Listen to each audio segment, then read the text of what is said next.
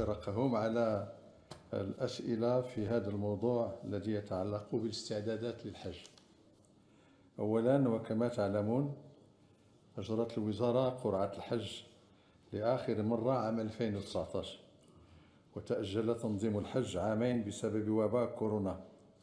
وكانت الوزارة قد تعهدت بالاحتفاظ للناس بنتيجة القرعة. ثانيا قررت السلطات المكلفة بالحج في المملكة العربية السعودية تنظيم الحج هذا العام. وجاء الإعلان عن هذا القرار يوم الاثنين 18 أبريل يعني هذه شهر. ثالثا دعت الوزارة اللجنة الملكية للحج لإخبارها بهذا المستجد حيث عقدت اجتماعها الأول يوم الخميس 21 أبريل. تم من خلاله إطلاع إطلاع اللجنة على التدابير الصادرة عن السلطات المكلفة بالحج. وهي حصر عدد الحجاج 45% من الحصة العادية اللي هي 34000 كتولي النتيجة ديالها هي 15000 10000 للتنظيم الرسمي و5000 للوكالات حصر المرشحين للحج في من تقل سنهم عن 65 سنة. شرط تلقي التلقيحات ضد فيروس كورونا وفحص قبل السفر.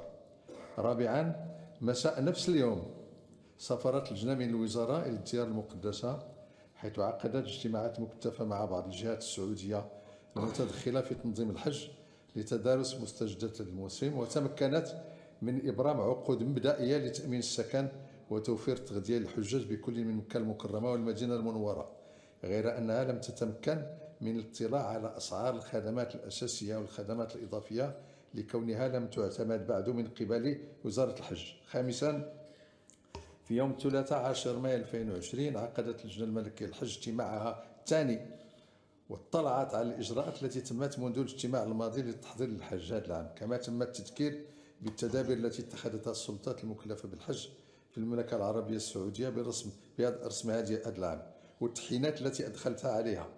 ومنها اشتراط أن تكون سن الشخص الذي يسمح له بالحج أقل من 65 سنة أي أن يكون قد ازداد.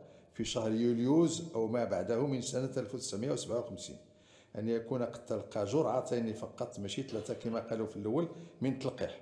فيما يخص باقي الترتيبات المتخذة التي باشرتها الوزارة تنسيق مع كل من وزارة الداخلية ووزارة الصحة والحماية الاجتماعية لحصر لوائح المواطنين المنتقين في قرعة 2019 والمتوفرين على الشروط التي ذكرناها. تنسيق مع وزارة الداخلية العمالات والأقاليم ومندوبيات الشؤون الإسلامية لحصر لائحة المرافقين لأشخاص يفوق سنهم عن 65 سنة الأزواج والآباء والأبناء ومنح الاختيار لهؤلاء المرافقين بين أداء مناسك الحج هذا الموسم أو تأجيل ذلك إلى الموسم المقبل ليكونوا رفقتهم.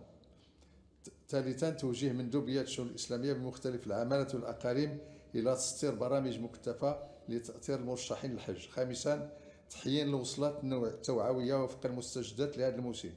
ونظرا لضيق الوقت فقد أوصت اللجنة الملكية للحج في اجتماعها الثاني بأن تقوم الوزارة بما يلي دون اجتماع جديد.